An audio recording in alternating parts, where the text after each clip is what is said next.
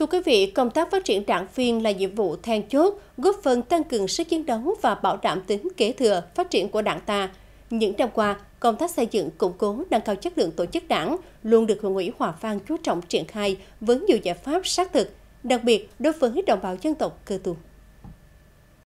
Đồng bào cơ tu trên địa bàn huyện Hòa Vang tập trung chủ yếu tại hai xã miền núi Hòa Bắc và Hòa Phú. Tại thôn Dần Bí, xã Hòa Bắc, gia làng Bùi Văn Xuyên là một đảng viên hơn 40 năm tuổi đảng. Vì vậy, tạo được mối quan hệ gần gũi, tâm lý vượng tin vào các chủ trương đường lối của đảng cho nhân dân. Từ đó, nhiều quần chúng ưu tú sớm nhận thức được vai trò lãnh đạo của đảng, mong muốn được đứng vào hàng ngũ của đảng. Mình là, là tuổi đảng cao, thì mình là phải tuyên truyền vận động lớp trẻ là nêu gương là những anh chị đã vào đảng, đã theo đảng, phải đến cùng đồng bào cả tu là người là theo đảng một lòng một dạ không nghe kẻ xấu để là xúi dục hoặc là mua chuộc. Nhiệm kỳ 2015-2020, toàn huyện Hòa Vang có 21 quần chúng là đồng bào cơ tu vinh dự đứng vào hàng ngũ của đảng, trong đó riêng xã Hòa Bắc là 17, với những đảng viên mới được vào đảng là tiếp nối truyền thống cha ông, cống hiến sức trẻ cho thôn, cho xã hội. Mình được vinh dự là một người à, con người cơ tu mà được vinh hạnh à, đứng vào hàng ngũ của đảng. À, mình là bí thư chi đoàn, thứ hai là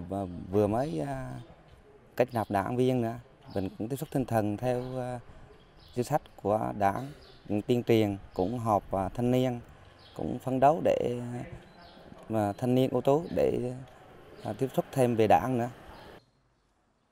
Để phát triển đảng viên ở đồng bào dân tộc cơ tu, đảm bảo về số lượng và chất lượng, huyện ủy Hòa Vang đã phân công thường trực cấp ủy đứng điểm, phụ trách, bảo đảm chất lượng, lựa chọn quân chúng ưu tú, có động cơ trong sáng, hội đủ các điều kiện, tiêu chuẩn theo quy định, nhất là tiêu chuẩn giác ngộ chính trị, đạo đức lối sống và năng lực bản thân để tạo nguồn và phát triển. Công tác ờ, phát triển đảng ờ, địa phương rất là tập trung. Ờ, hàng năm thì trong cái nghị quyết thực hiện nhiệm vụ của năm thì luôn ờ, đưa cái chỉ tiêu về phát triển đảng để giao cho các cái chi bộ. Đặc biệt là các cái chi bộ có đồng bào dân tộc và các cái chi bộ có đồng bào có đạo. Để trên cơ sở đó thì trong ờ, những năm qua thì à, hầu hết các chi bộ mà thực hiện cái nhiệm vụ này rất là tốt. Ừ, đa số là đều là thực hiện vượt cái chỉ tiêu mà huyện giao cho đảng bộ xã có thể thấy, việc phát triển đảng viên ở đồng bào dân tộc cơ tu tại Hòa Vang những năm qua đã đạt được nhiều thành tựu nhờ những cách làm linh hoạt, khắc phục tình trạng chạy theo số lượng, xem nhẹ chất lượng. Thời gian tới, huyện cũng sẽ tích cực đẩy mạnh các phong trào thi đua yêu nước, lao động sản xuất, qua đó phát hiện những nhân tố điển hình tiên tiến để bồi dưỡng kết nạp đảng viên.